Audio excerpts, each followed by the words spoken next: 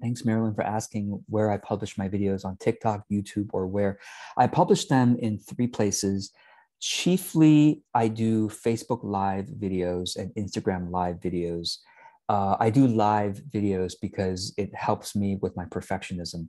If I pre record videos, I, I need at least three takes, sometimes 10 takes, and I'm still not satisfied. And there's always the danger for me, like, well, I could do one more take. It'll, it'll be better at the 11th take. And I could say that forever. So I, I know myself well enough to say, no, no, no. I get one take. Constructive living, no matter how I feel, it's the it's the one take that's going to be that's going to get get out there, and I'm going to practice not deleting it. I've practiced that so much now. I have so much embarrassing videos out there. I you can't even believe it. But there, I have I have over a thousand, well over a thousand videos published on Facebook and YouTube.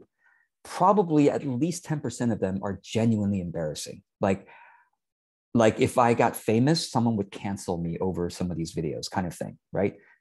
But it's out there, and if I'm not afraid of death, I'm not afraid of being canceled, you know, socially. So, but uh, but yeah, so so um, no, I I don't thankfully talk about politics, so I'm not going to get canceled in that way. But someone might go, George, what you said that was cringeworthy. Um, at least 10% of my videos are cringeworthy, and it's still out there. Anyway, that's why I do Facebook Lives um, because I know myself and I need to do that um, to to make sure it still stays up there. Uh, you can always delete Facebook Lives, but that's dangerous, right? Because then you're you're reinforcing self doubt, and I rebel against self doubt because I'm like this ego is really nothing. It's just ego, and so I rebel against the the egoic self doubt and go. It's okay if I'm embarrassed. It's okay if it's cringeworthy. It's okay if I get canceled one day and I get start over from three people who don't mind my cringeworthy stuff, and then I'll grow to six people, and then grow to ten people. It doesn't matter how much someone gets canceled or or embarrassed. You can grow again, right? That's that's the faith that I've kept, and it's true, and it's and it's served me well. And ironically, this video is turning into a canceling, canceling, cancel culture type video. Like no matter how much you get canceled or or or you post cringeworthy stuff out there, the irony is that by allowing that stuff out there, you grow the muscles of self empowerment. You grow the muscles of authentic empowerment and authentic voice. You grow the muscle of being, I can be wherever the fuck I want on the internet. Yes, it's going to piss off or, you know, turn off 10%, 80%, I don't know, however many people.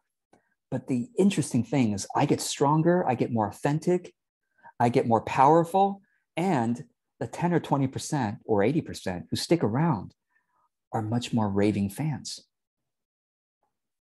So I've chosen that path, you know, um, as opposed to the path of always making sure I'm perfect. Oh my God, that video, oh, I got to edit that part out. My God, that was cringeworthy. Oh, that was embarrassing. I said that, or I said it in that way, or my face was like this. I got to edit that part out. God, how, how much self doubt you're going to reinforce with all that editing? Seriously, how much editing you're going to do? How much time is that? Does that take? So much time. No, I'm like, forget that. I'm not going down that dark path because then you keep reinforcing the perfectionism. I, I, I know I would. I know that's a very dark path for me. So I'm like, I'm going to go down this other dark path of, of being openly, publicly embarrassed uh, frequently. And my my skin is like this thick now. You can't see it. My my actual skull is this small this small. And this, the rest is my thick skin. So uh and it's it's powerful. And it feels powerful. It really and there's also the danger of the ego there too right? This ego has um, both sides like eating away at us.